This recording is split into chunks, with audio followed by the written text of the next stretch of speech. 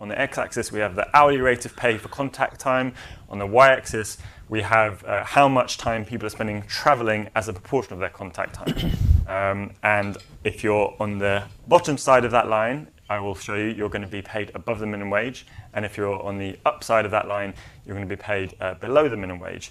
To make that a bit more concrete, this is the point where if someone was paid £11 an hour for their contact time, which would be a pretty generous, you know, a pretty decent rate of pay for a domiciliary worker, um, but if they were spending 10% of their time travelling, that would erode their pay, um, but they would end up at £10 an hour. So they're still well above well, not well above, but they're still, you know, definitely above the minimum wage of £9.50. Hopefully everyone can see that, you know, they start at 11, 10% of travel has dragged the average rate of pay down.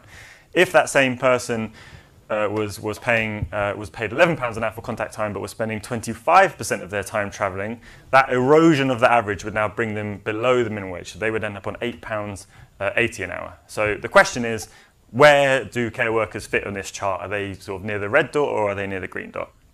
Uh, so to start with, uh, we can plot uh, average rates of pay in the sector.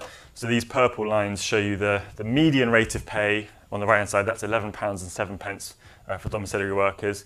And at the 25th percentile as well. So that's £10.09. And the assumption I'm making here is that this is the rate of pay for their contact time.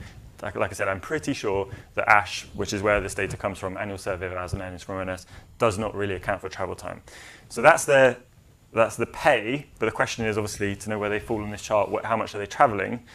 And 20% is the average. So that comes from the uh, Home Care Association, and, and I think it you know, comes from um, quite a large number of, of, of, uh, of, data points. I don't know which provider, but, but they say they, they, they take it from a provider.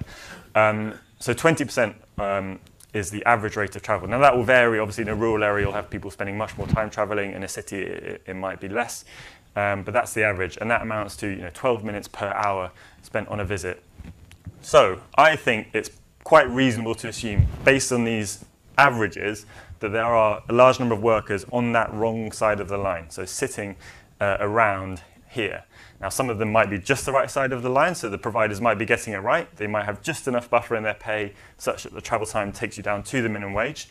Um, but I think there are probably uh, a decent number where they're not quite getting it right and where that buffer isn't, isn't quite enough. Now, like I said, the problem is we don't know. I can't give you a hard and fast number. I would love to be able to because there, no such data set uh, exists. But so clearly, we both need to measure this better.